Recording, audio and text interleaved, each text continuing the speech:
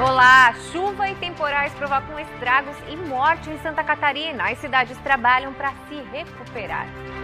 Empresário sumiu com dinheiro de entregadores do iFood em Balneário Camboriú. Entenda como aconteceu esse caso.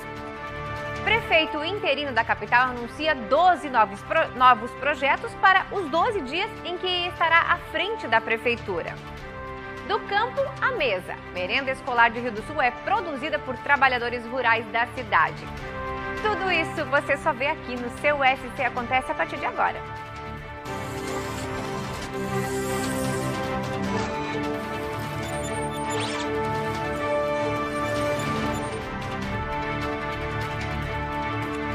Boa tarde para você. Começamos essa edição atualizando a situação do estado por conta das fortes chuvas. E olha, o sul de Santa Catarina está enfrentando o início de semana bem tumultuado por conta dos temporais associados a um ciclone extratropical que aconteceu ontem, né? Os detalhes nós vamos ter ao vivo com o repórter Alex Barros. Boa tarde, Alex. Conta pra gente como é que tá a situação por aí. Oi, Grazi. Muito boa tarde a você claro, a quem acompanha o SC Acontece. E de fato, aqui na região é um cenário caótico, né? Isso por conta dos vendavais, as enxurradas e deslizamento de terra. Para se ter uma ideia, Grazi, o município de Araranguá registrou vendavais no, no, em torno aí de 140 quilômetros por hora. Além do município de Araranguá, também teve o município de Praia Grande e Meleiro que registraram aí os fortes ventos, onde desde o dia de ontem e no dia de hoje a rede municipal de ensino está aí com as aulas suspensas. Por sua vez, o que se tem a preocupação é referente ao monitoramento dos rios na região, onde a Defesa Civil alerta que está fazendo este monitoramento e também está pedindo para que os moradores que estejam em área de risco possam assim sair das residências.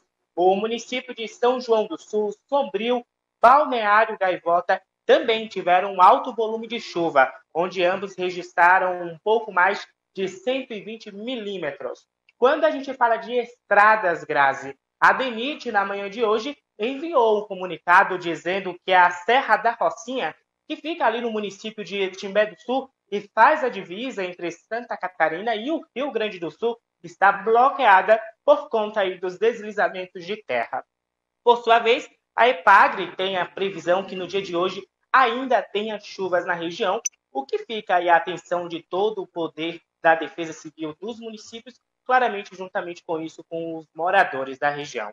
Evidentemente, a gente sabe que desde o dia de ontem as fortes chuvas atingiram aí Santa Catarina. E a região mais afetada, de fato, é aqui o sul do estado, mas a região do oeste também foi bastante castigada, onde houve ali o derrubamento de árvores e a perda de uma vida.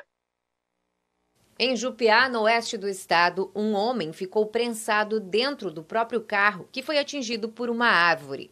Ao chegar no local, a equipe do Corpo de Bombeiros encontrou o motorista já em óbito. Os temporais causaram mais destruição em diversas cidades da região.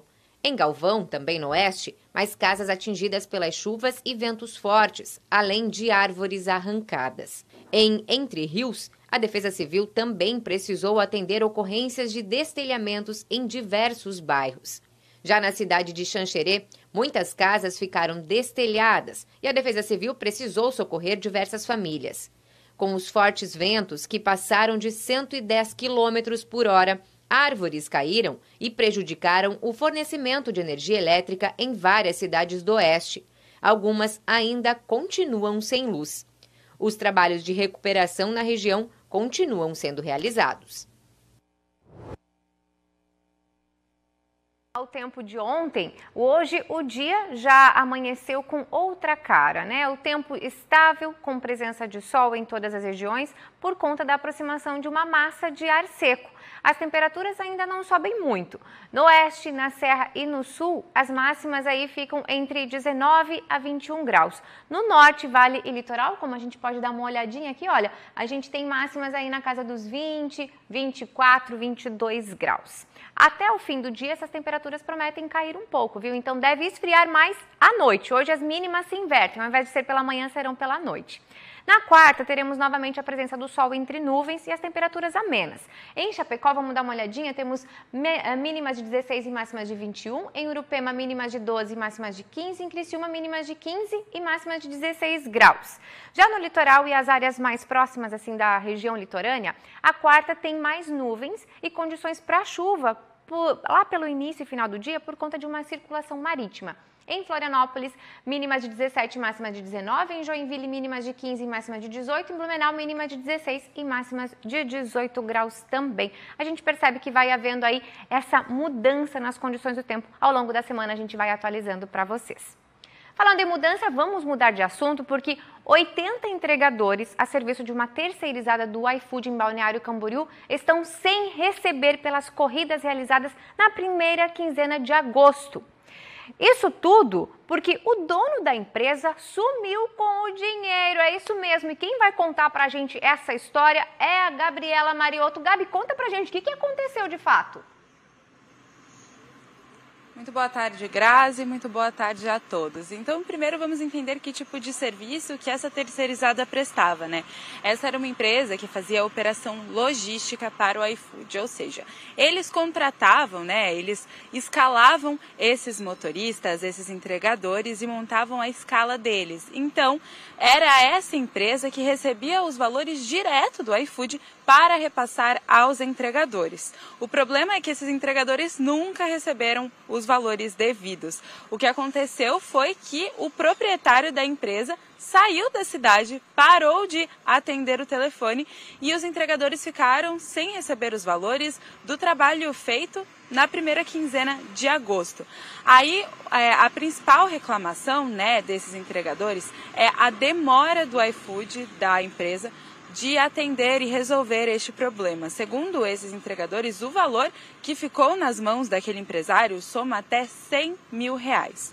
O iFood agora, por meio de nota, informou que é, já está em contato com esses entregadores que sofreram os danos no começo de agosto e que eles devem receber os valores devidos até essa sexta-feira, dia 8 de setembro. A gente, é claro, fica aqui esperando que essa situação se resolva, Grazi.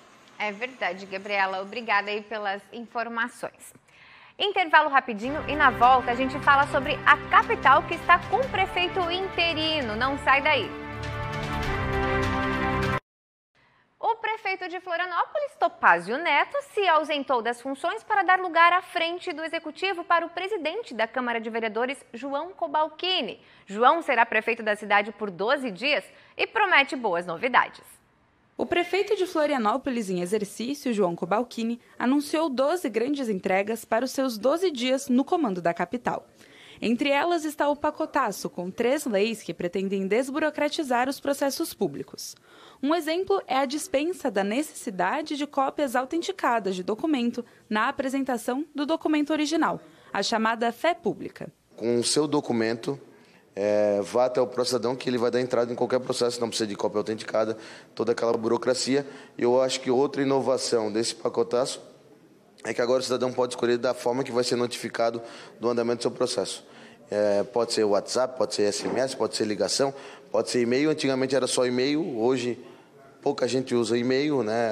a, a população é mais vulnerável. Então eu acho que com isso é uma simplificação, eu acho que ajuda muito a, a vida do cidadão de forma mais ágil, pode acessar os processos da Prefeitura. Como presidente da Câmara Municipal, João Cobalcini anunciou também o repasse de duodécimos do Legislativo da capital para zerar a fila de exames de colonoscopia. Serão destinados cerca de 2 milhões de reais. No início do ano, como presidente da Câmara Municipal de Vereadores, conversei com a secretária Cristina é, e perguntei como que a Câmara Municipal de Vereadores poderia auxiliar é, a Secretaria de Saúde do nosso município.